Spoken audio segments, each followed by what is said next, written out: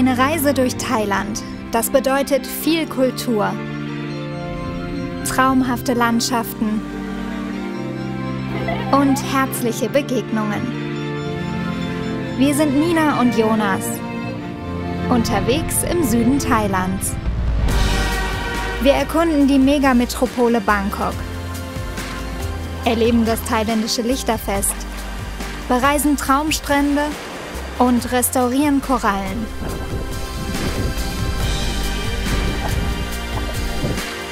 Ich lerne thailändische Traditionen kennen und ordentlich auszuteilen.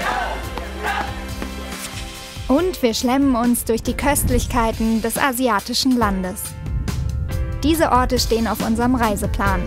Bangkok, die Provinz Krabi, die kleine Insel Komuk, Ayutthaya und der Erawan Nationalpark. Es ist Loi Krathong, das thailändische Lichterfest. Das wird überall im Land gefeiert, auch wenn es kein offizieller Feiertag ist. Geehrt wird die Göttin des Wassers. Krathong bedeutet kleines Floß, eine Opfergabe an die Flussgöttin Prame Konka. Wir sind gerade erst in Bangkok angekommen und die ganze Stadt scheint im Loi Krathong-Fieber. Überall gibt es die bunten Kartons zu kaufen.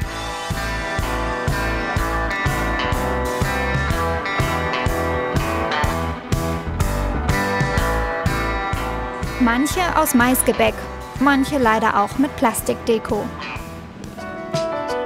Wir wollen ein nachhaltiges Karton basteln mit dieser ganz besonderen Frau. Kropet ist zwar schon in Rente, früher hat sie die Blumendeko für das thailändische Königshaus gemacht und den Royals ihre Kartons gebastelt. Sie ist ein absoluter Profi. Das sind die ganz einfachen? Ja. Na dann. Die Dekoration für die Kartons wird aus Bananenblättern und kleinen Blüten gemacht. Ich will von Copette wissen, ob Leukarton ihr Lieblingsfest ist.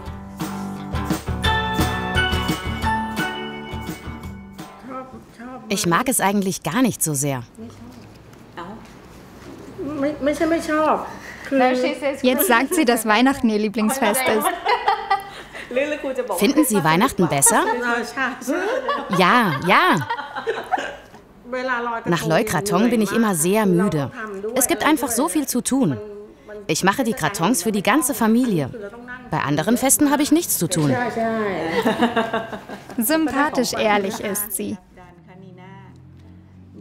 Die Basis für das kleine Floß ist ein Bananenstrunk. Der ist leicht genug, um zu schwimmen.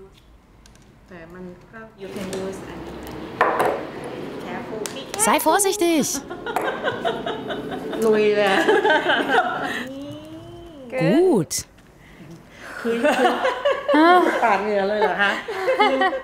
Ich bin überrascht, wie begabt sie ist. Sie hat es sehr schnell gelernt. Bist du stolz auf dich, Nina? Ich finde, das sieht für den Anfang gar nicht so schlecht aus.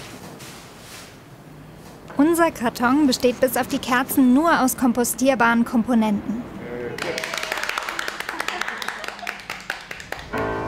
Die Menschen strömen zu Bangkoks größtem Fluss, Chao Phraya. Loi Krathong findet zum Ende der Regenzeit statt. Meist ist das im November am Vollmondtag. Schlange stehen, um das Karton zu Wasser zu lassen. Hier wurde extra eine Art Wasserrutsche gebaut.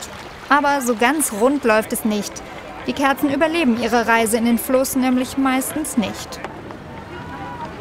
Und die Kartons werden dann auch ziemlich schnell entsorgt. Wir suchen uns einen ruhigeren Ort, um unser Karton schwimmen zu lassen.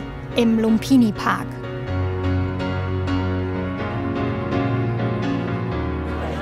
Nemo lebt in Bangkok und zeigt uns, was zu tun ist. Loi Krathong ist nicht nur die Bitte um Vergebung an die Göttin des Wassers oder des Flusses. Manche Leute glauben auch, dass sie das Unglück von sich wegschwimmen lassen können. Das ist das erste Mal, dass ich das überhaupt in der Hand habe und es ist ganz leicht. Ne? Ist ja nur gesehen, ist ja krass. Okay, so now. Und jetzt? Nimm es in beide Hände, führst zu deinem Kopf und wünsch dir was. Ein wenig Anschubhilfe ist erlaubt, aber dann dürfen wir unseren Kartons nicht mehr hinterher schauen.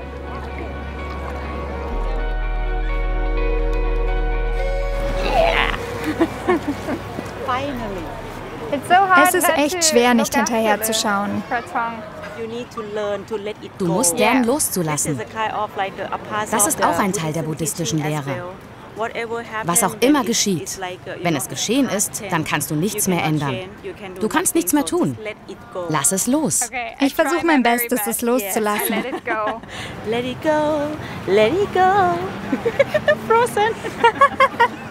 Loi Krathong feiern, ein unvergessliches Erlebnis. Wir verlassen die Megacity jetzt erstmal, kommen am Ende unserer Reise aber nochmal zurück.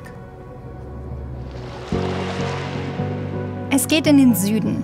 Die Küste der Provinz Krabi ist atemberaubend. Der bekannteste Strand hier, Rayleigh Beach. Für uns steht aber heute kein Strandtag an, sondern eine ganz besondere Mission.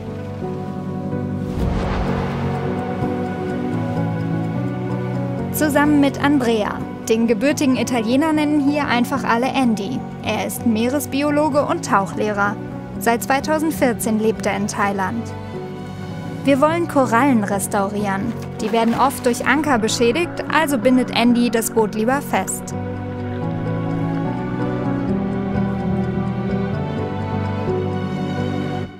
Okay, so let's start with something simple. Weißt du, was eine Koralle ist? Ein Tier. Ein Tier. Was wir üblicherweise als Koralle bezeichnen, ist eigentlich eine Kolonie von Einzelpolypen. Jede dieser kleinen Blumen hier ist also ein einzelnes Tier. Und eine Gruppe dieser Tiere nennen wir Kolonie. Weniger als 0,1 Prozent des Ozeans ist mit Korallen besiedelt.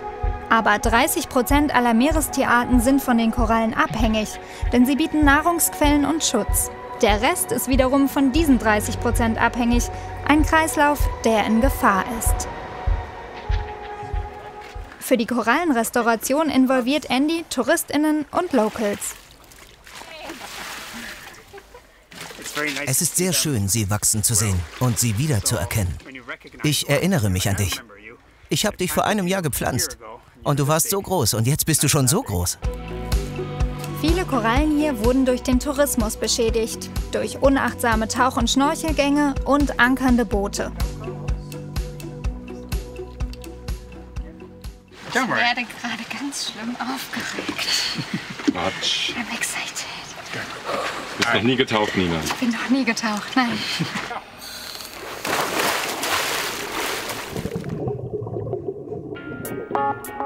Andy hilft mir überhaupt erst einmal runterzukommen. Das Programm Discover Scuba Diving ermöglicht es auch TauchanfängerInnen, kleinere Tauchgänge zu machen, ohne Tauchschein.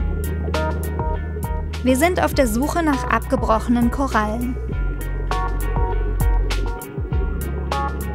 Aus diesen Stücken sollen dann neue Korallen wachsen. Dafür brauchen wir noch Steine, auf denen sich die Korallen ansiedeln.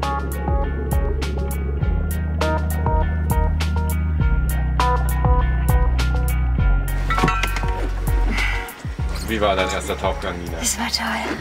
Das ist so eine andere Welt. Also Schnorcheln ist ja schon schön, aber das war magisch. Jetzt wollen wir die Korallen präparieren, damit sie neu wachsen können.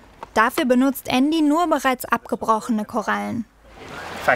Wenn wir sie nicht aufgesammelt hätten, dann wäre sie wahrscheinlich von der Strömung mitgerissen worden, in den Sand gefallen, mit Sand bedeckt worden und wäre dann gestorben. Ein klitzekleines Stück reicht schon für unsere Restauration. Aus diesem Stück können gleich mehrere neue wachsen.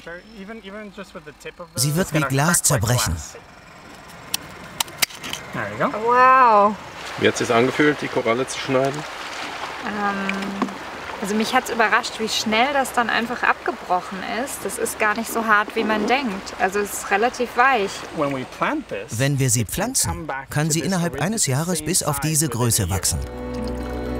Für das Korallenstück suchen wir jetzt ein Loch im Stein. Erinnert mich ein wenig an ein Puzzle, aber es soll ja stabil stehen. Unterstützt wird mit Kleber. Dieser Sekundenkleber ist nicht giftig. Sekundenkleber wurde eigentlich für die Anwendung am Menschen entwickelt. Man kann damit Schnittwunden schließen, genauso wie wenn man sie näht. Ganz schön viel kleine Frickelarbeit. Korallensterben hat viele Gründe. Man kann nicht sagen, dass es nur an einer bestimmten Sache liegt. Natürlich haben wir die globale Erwärmung. Sicher hatten wir auch Korallenbleiche aufgrund der hohen Temperaturen. Ich würde aber nicht sagen, dass das die Hauptursache für den Verlust von Korallen hier ist. Ich denke, die Besiedelung der Küste spielt eine größere Rolle und das Algenwachstum. Das liegt zum einen daran, dass die Haie hier herausgefischt werden und zum anderen daran, dass zu viele Nährstoffe durch den Einsatz von Düngemitteln an Land ins Wasser geraten. Es gibt verschiedene Ursachen. Eine ist der Massentourismus, eine könnte Sonnencreme sein, eine andere Zement, der durch die Flüsse ins Meer gespült wird. Es gibt nicht die eine Ursache, von der man sagen kann, oh, wenn wir die lösen, lösen wir alles. Sein Ansatz, den Menschen, die hier leben und denen, die zu Besuch kommen, zeigen, wie wichtig und schützenswert die Korallen sind. Der Meeresbiologe liebt Tiere. Ich weiß, dass du einen süßen kleinen Hund hast. Oh, ich habe mehr als einen. Im Moment habe ich sieben. Du hast sieben Hunde? Und wie viele Korallen hast du dann? Wie viele Korallen? Oh, tausende von Babys. Ja, all die Babys hier. Das sind alles meine Babys. Und unsere Babys müssen jetzt ganz schnell wieder ins Wasser. Nina? Ja? Tauchgang Nummer? Zwei. Nein. Ich freue mich schon.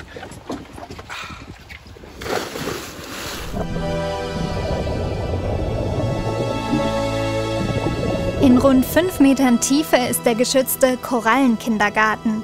Hier bleiben sie etwa vier Wochen, bevor Andy sie umbettet.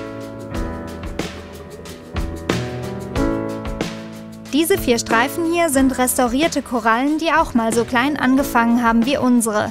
Vor viereinhalb Jahren. Andys Einsatz zahlt sich also aus.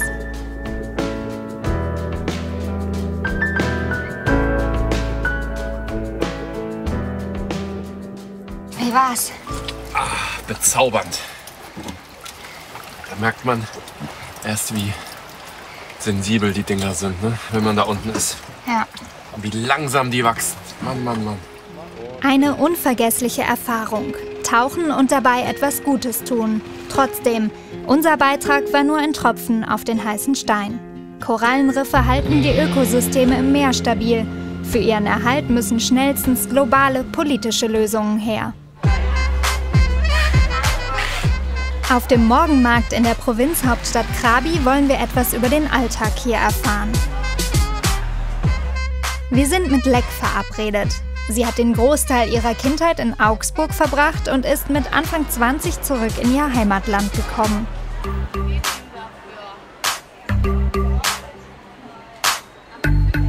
Ich habe ein Fauxpas gemacht und gefragt, ob die aus Plastik sind, aber ähm, die sind nicht aus Plastik.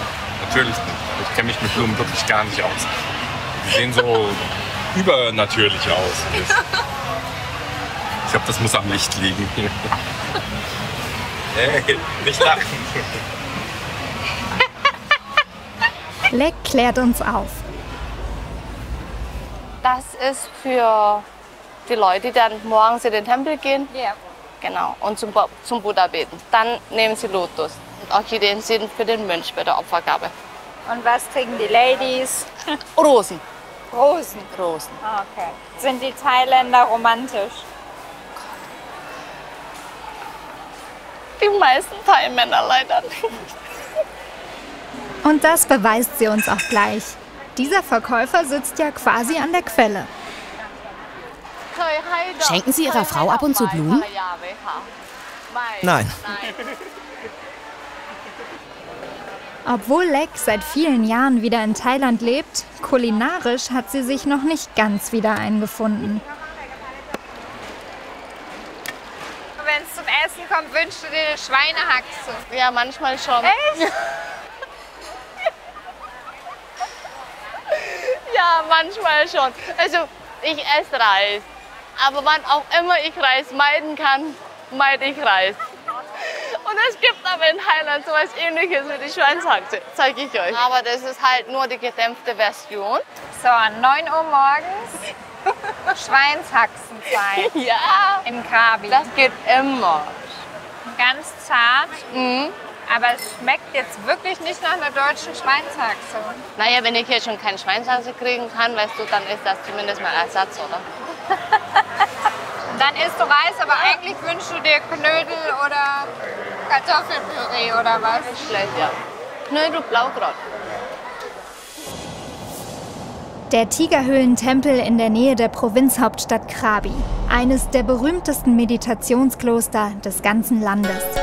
Die Legende besagt, dass hier einst in der Höhle ein Mönch mit einem Tiger zusammenlebte, der ihn bei seinen Meditationen besuchte. Pass auf deine Kamera auf. Zum Glück sind die Affen gerade gut abgelenkt.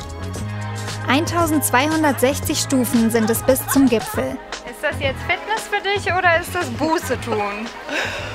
Meditation. Oh, Meditation. Schaffe ich das? Mhm. Gut, also, wenn ich schon zehnmal hier hoch geschafft habe, dann werde ich auch wohl das elfte Mal schaffen. Man braucht Herausforderungen im Leben, ne? 35, 36, 37, 38, 39, 40. Jetzt wird es ein bisschen steiler.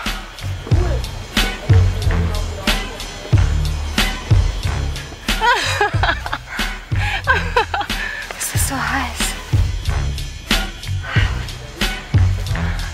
Geschafft! Ja! Geschafft!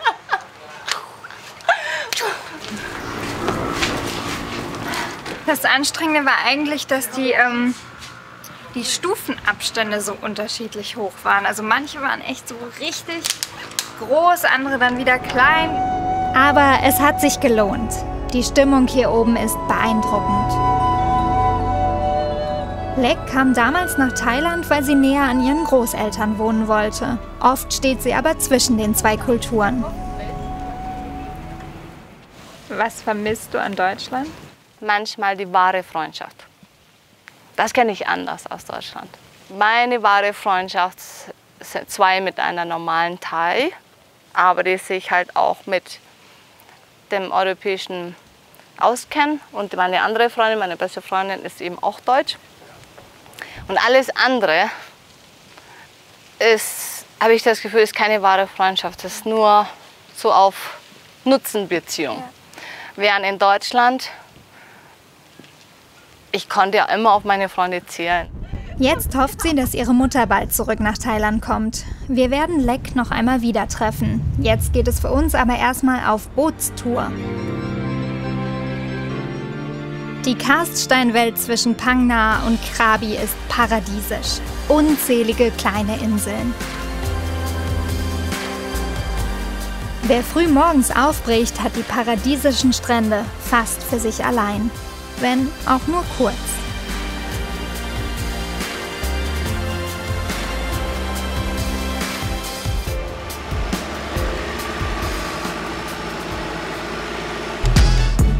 Koh Hong gilt als die schönste Insel hier. Dabei sind eigentlich alle echt schön. Die Besonderheit? Diese Lagune, wie ein verstecktes Zimmer. Sie ist auch die Namensgeberin der Insel, denn Hong heißt Zimmer.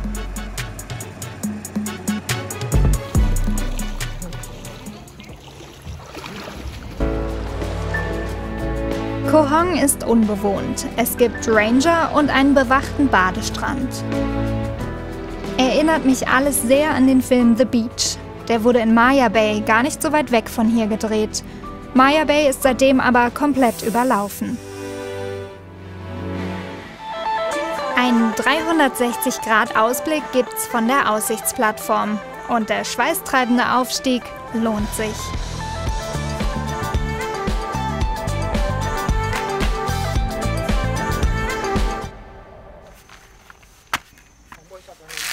Jetzt haben wir uns erstmal was Süßes verdient. Wir machen muslimische Süßigkeiten. 4,3 Prozent der thailändischen Bevölkerung gehören dem Islam an. Drei Viertel von ihnen leben im Süden des Landes. Fala und Pontip zeigen ein Rezept, das im Ramadan gegessen wird. Die Basis ist Kokosnuss.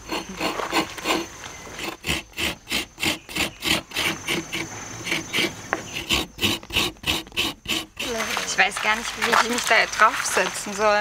Muss dir helfen. So wie sie. Ja, wie saß sie denn so? Ja, so, genau. Meerjungfrauensitz. Ja, genau.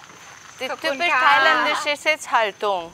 Für die meine Beine eigentlich zu lang sind. Ein paar Mal und dann immer drehen. Ich sag das so leicht, aber ich kann es auch nicht.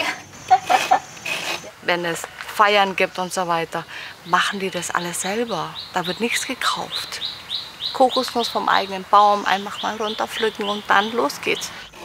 Eigentlich gibt es richtige Maschinen, die die Kokosnüsse raspeln. Die Kokosraspeln sind sehr unterschiedlich, je nachdem, wie sie hergestellt werden. Diese hier werden grober. Mit der Maschine werden sie zu klein.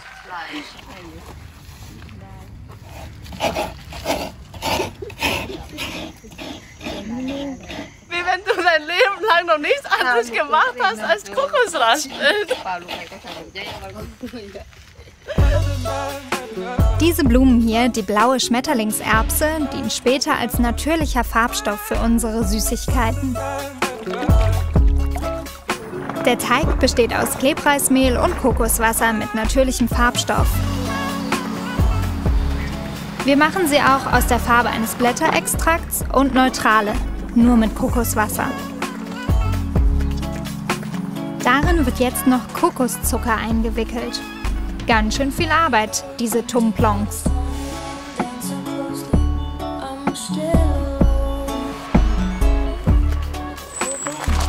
Oh, Tum auf Südthailändisch bedeutet werfen, schmeißen.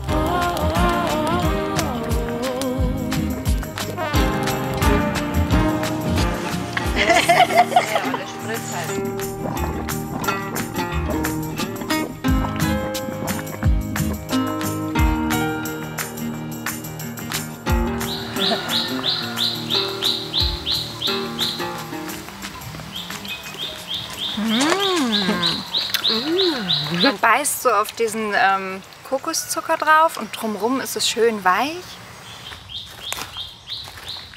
Das ist super lecker. Mm, das schmeckt ja süß und salzig, weil der Teig ist ein bisschen salzig und innen drin kommt dann diese Zuckerbombe raus. Wie so ein kleiner Mini-Knödel gefüllt wieder. Mm. Vielen Dank. Für uns heißt es jetzt Abschied nehmen. Es geht noch weiter in den Süden. Nach Komuk. Hier gibt es einsame Strände mit Hippie-Bars, aber auch hochpreisige Bungalows mit direktem Strandzugang. Auf mich wartet ein Abenteuer. Allein, denn Jonas liegt flach. Zusammen mit William geht es in die Smaragdhöhle. Die gehört zwar auch zu Komuk, ist aber nur mit dem Boot erreichbar. In den schmalen Spalt unter dem Fels schwimmen wir gleich rein. Man kann drinnen nichts sehen. Sind da irgendwelche Tiere drin? Manchmal sieht man Affen oder Seeschlangen. Seeschlangen? Ja, Seeschlangen, aber die sind nicht gefährlich. Da viele Thais nicht schwimmen können, besteht William auf die Schwimmweste. 80 Meter müssen wir durch diesen Tunnel schwimmen. Hier sollte man nur mit Guide rein, denn man muss die Gezeiten kennen. Bei Flut sitzt man sonst mehrere Stunden in der Lagune fest. Die ist wirklich beeindruckend.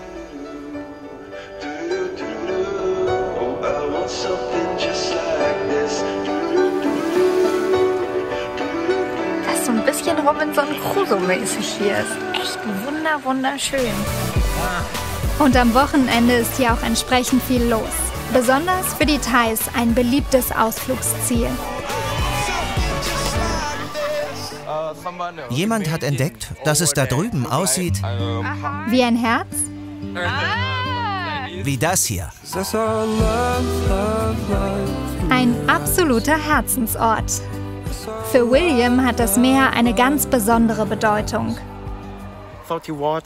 Das Meerwasser ist für mich wie eine Droge. Wenn ich mich krank fühle oder nicht gut drauf bin, komme ich zurück, um zu schwimmen. Tauche durch das Wasser. Das ist dann das Tollste für mich und ich fühle mich besser. Kann ich verstehen. Besonders bei der tollen Unterwasserwelt der umliegenden Inseln, die wir jetzt bei einer Schnorcheltour erkunden. Da hat Jonas echt was verpasst.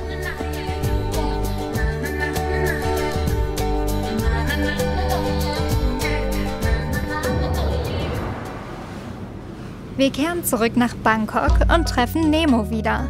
Am Königspalast und im Königstempel Wat Pa Kiao. Solch eine Pracht gibt es in Thailand kein zweites Mal. Die Bekleidungsregeln sind streng, daher trage ich einen geliehenen Sarong, da meine Hose zwar über die Knie geht, aber die Knöchel nicht bedeckt. Der König selbst ist heute wahrscheinlich gar nicht da. Am liebsten hält er sich in Bayern auf. Die Nachrichten darüber werden hier zensiert. Kritik am Königshaus kann mit bis zu 15 Jahren Haft bestraft werden.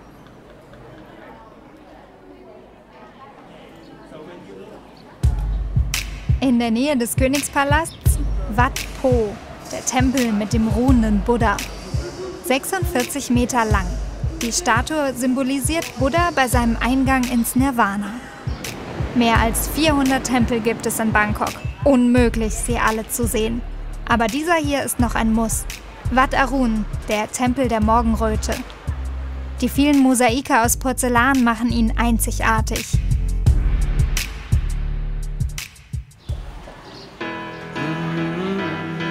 Authentisch thailändisch essen, das geht in Bangkok an jeder Straßenecke. Rund 380.000 Stände gibt es in der Stadt, so Schätzungen.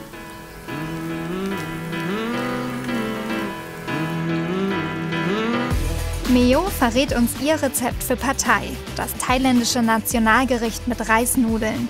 Sie selbst isst Partei auch mehrmals die Woche. Partei kannst du je nach Stimmung zubereiten. Wenn du es gerne etwas schärfer haben möchtest, nimmst du mehr Chili. Je nach Stimmung. Seinen Ursprung hat das Nudelgericht im Zweiten Weltkrieg. Damals konnte zeitweise nicht genügend Reis für die Bevölkerung geerntet werden und so propagierte die Regierung den Einsatz der weißen Nudeln, die man auch aus zerbrochenen Reisresten herstellen konnte. Eine Notlösung, die heute ein Klassiker der thailändischen Küche ist. Meine Variante ist vegetarisch, mit Tofu und einem Ei. Ah! Oh, oh.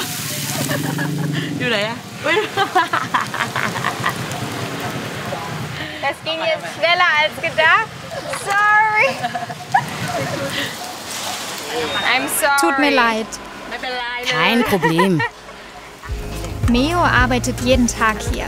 Nur montags nicht, da bereitet sie dann die Soße zu. Aus Fischsoße, Tamarindsoße und Palmenzucker. Ihre Garküche ist ein Familienbusiness, wurde von Generation zu Generation weitergegeben. Du würdest das hier nicht gegen ein Restaurant eintauschen, oder? Ich habe darüber schon mal nachgedacht. Aber dieser kleine Imbiss macht mich einfach glücklicher. Unser Haus ist hier, meine Verwandten auch. Ich bin hier sehr zufrieden.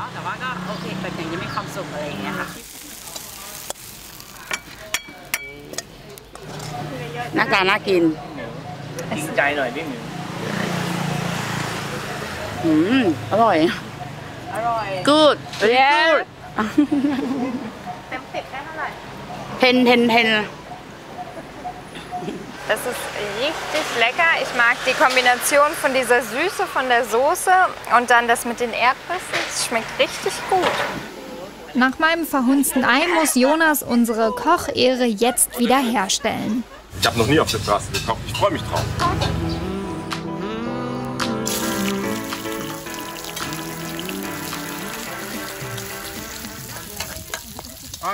Ach, du willst auch welche? Sorry. Warst du wieder ein bisschen gierig, ne? Ja, ja. Zu den gebratenen Shrimps kommen bei Jonas Version auch noch kleine getrocknete. Aber auch bei ihm läuft nicht alles glatt. Ich bin so stark. Hast du hier was kaputt gemacht? Sorry. Okay. No. Ten, ten, ten. Zehn Punkte für den Jonas. How many points for Nina? Wie viele Punkte für Nina? Außer ten. Will ich auch. Na dann habe ich ja Glück gehabt.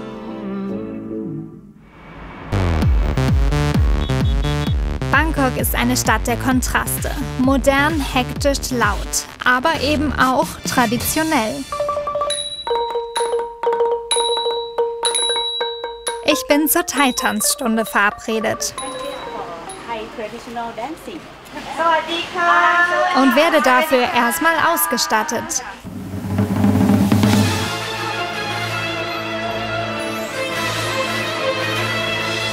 Ich bin sehr gespannt.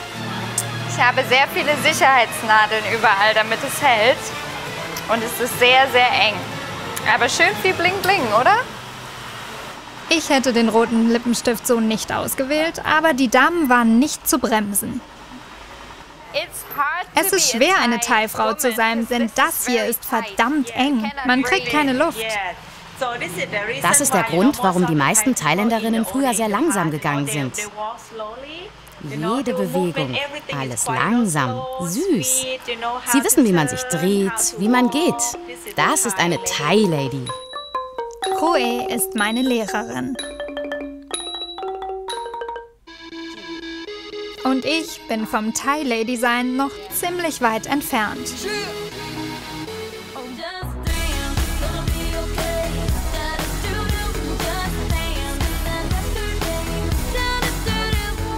Sie stöhnt schon. Das wird was. Was so anmutig aussehen sollte, ist ganz schön schwierig. Viel Körperspannung ist gefragt. Früher wurden die Töchter der Oberschicht im Thai-Tanz ausgebildet. Wie sieht's mit deinen Fähigkeiten aus? Meine Fähigkeiten? Jetzt bin ich dran?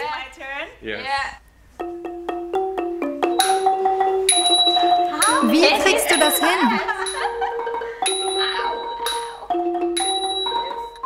Nemo selbst hat den traditionellen Tanz in der Schule gelernt. Wie findest du es, dass die Thai-Dame der Vorstellung nach sehr süß und sehr leise sein sollte? Das passt nicht zu dir. Ich bin eine ganz besondere Spezies von Thai-Frauen. Die meisten Thai-Frauen sollten so cool sein wie Cruel, verstehst du? Sie sollten cool aussehen wie Cruel. Ich bin einfach ein bisschen anders als die anderen Thai-Frauen. Vergleich mich nicht mit den anderen. Es steckt dir doch im Blut. Ja, ja, in meiner DNA. Gleich erwartet mich das absolute Kontrastprogramm zu dieser feinen Kunst. Good. Oh.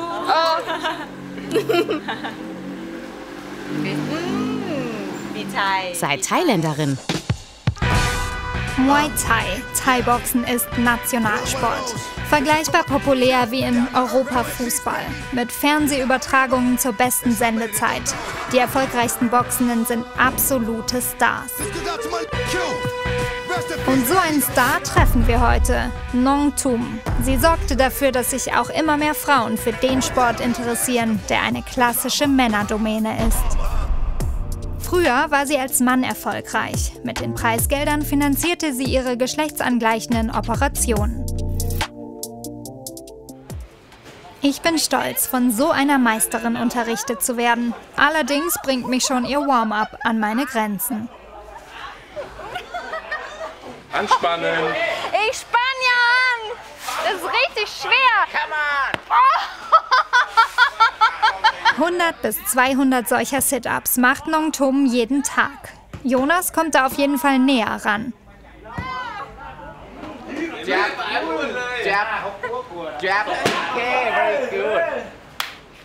Tust du den Leuten gerne weh? Nein, das ist mein Job. Okay, like. Yeah.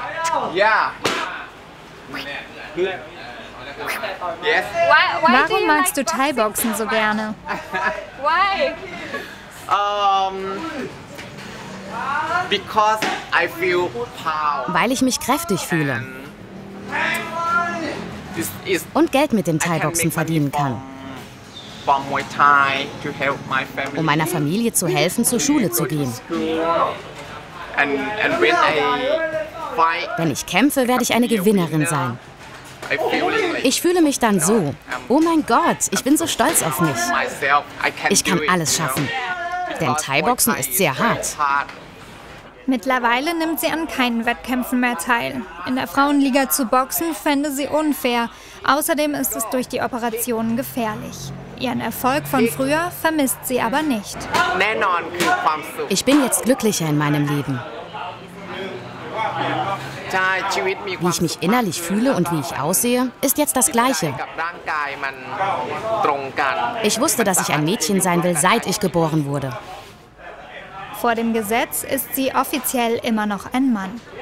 Queeren Menschen in Thailand bleiben grundsätzliche Rechte immer noch verwehrt, obwohl die LGBTQ-Community hier sehr sichtbar ist. 2022 fand in Bangkok seit 16 Jahren erstmals wieder eine Pride Parade statt. Viele hoffen auf die Zukunft und auf Gesetzesänderungen.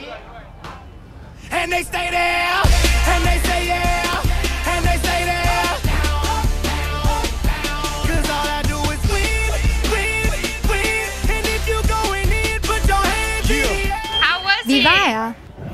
Er geht gut. In ihrer eigenen Schule unterrichtet sie alle Geschlechtsidentitäten und alle Altersklassen. Die Männer sind hier aber immer noch in der Mehrzahl. Ich bin absolut angefixt vom Thai-Boxen. Jedenfalls, solange es nicht zu brutal wird.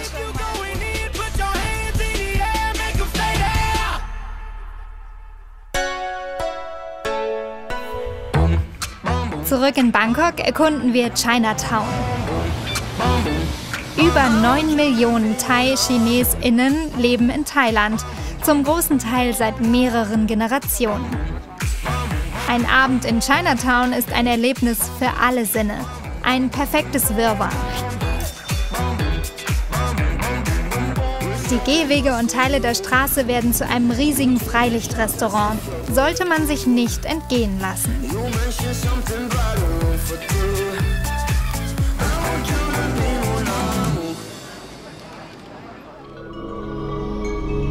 Auch wenn es heute nicht mehr so wirkt, diese Stadt prägte über 400 Jahre lang den Welthandel, beeindruckte die Kaufleute Europas.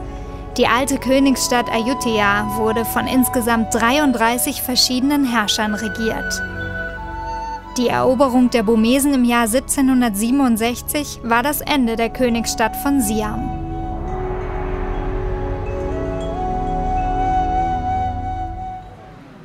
Das beliebteste Fotomotiv, dieser umwachsene Buddha.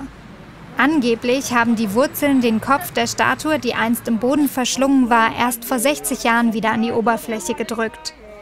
Wichtig, immer auf der Bank Platz nehmen und sich nicht über Buddha erheben. Das ist bei diesem hier ganz einfach. Thailands größter Buddha, 96 Meter hoch. Meo hat Geschichte studiert und zeigt jetzt Gästen aus aller Welt ihr Heimatland. Westliche TouristInnen sieht man hier am Wat Muang kaum. Er schaut zu uns runter, oder? Er schaut uns an. Ja, das ist Absicht. Wenn wir am Tempel ankommen, sollen wir uns auf die Grundsätze Buddhas fokussieren. Dadurch erfahren wir die Atmosphäre, das heilige Gefühl. Das ist der wichste Punkt der thailändischen Buddhisten. Wenn wir am Tempel ankommen, hat das etwas Reinigendes. Wir wollen zur Ruhe kommen. Hier in Thailand haben wir unzählige Tempel, mehr als 40.000. Mehr als 40.000? Ja, denn weißt du, um ein Dorf zu gründen, muss erst ein Tempel gebaut werden. 16 Jahre hat der Bau gedauert, finanziert aus Spenden. Die überdimensionierten Ausmaße sind typisch für jüngere Thai-Gebetsstätten.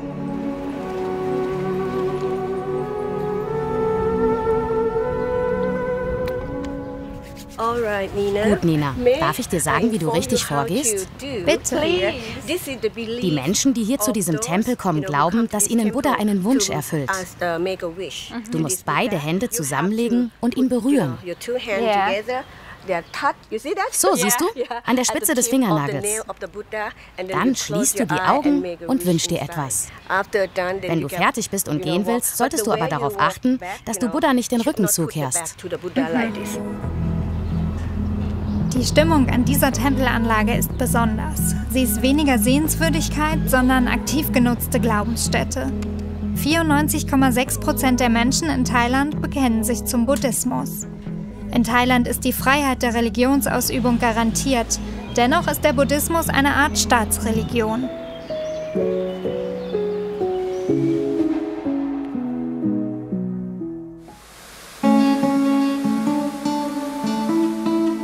Wunderschöne Badeplätze mitten in der Natur. Wir sind bei den Erawan Falls. Sieben Wasserfälle gibt es hier zu erkunden und Meo ist wieder dabei. Was bedeutet das hier? Für das thailändische Volk ist das hier ein heiliger Baum.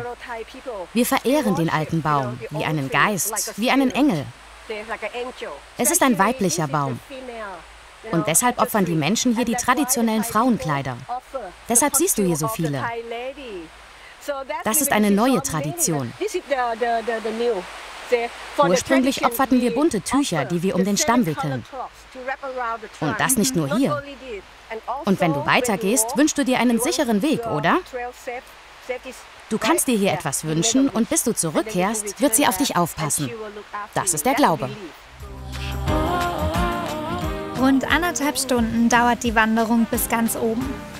Frühmorgens kommen lohnt sich, denn schon ab halb vier nachmittags werden nach und nach die oberen Wasserfälle geschlossen.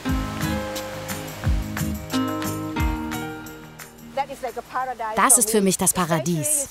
Vor allem, wenn man diesen Wasservorhang sieht. Wenn du die Meerjungfrau wärst, würdest du da reingehen und dann im Smaragdteich baden. Warst du schon mal dort? Es tut mir leid, meine Liebe, nein. Ich kann gar nicht schwimmen.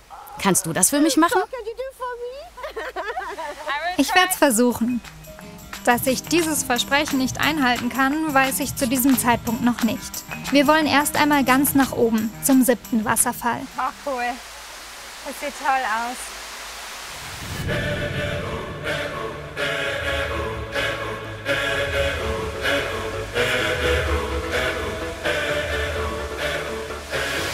Mega schön. Hat sich gelohnt. Ein echtes Badeparadies. So wirkt es auf jeden Fall. Hier kriegt man ein kostenloses Fischspa. Also die Fische kommen und knabbern an den Füßen rum. Ich finde das maximal gruselig, ehrlich gesagt. Ha! Das sind keine Piranhas. Wir brauchen einmal richtig.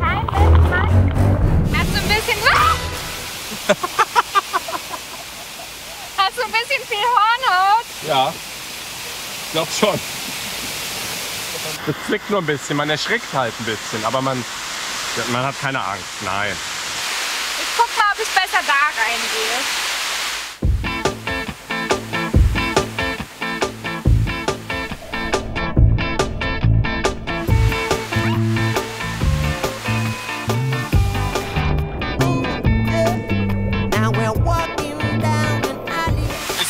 Unangenehm, aber nicht wirklich. Während mir die Begegnung mit den Fischen gereicht hat, Ich gehe da ins Meer rein.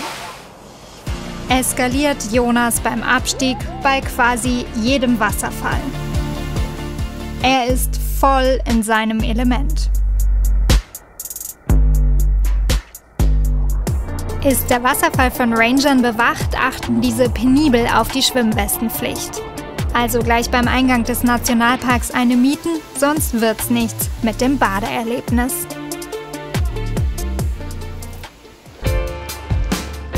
Eine unvergessliche Reise geht zu Ende. Wir haben so viele herzliche Menschen getroffen, die uns einen Einblick in ihre Kultur gegeben haben. Wir haben getanzt, gegessen, gefeiert und nehmen so viele schöne Erinnerungen mit nach Hause.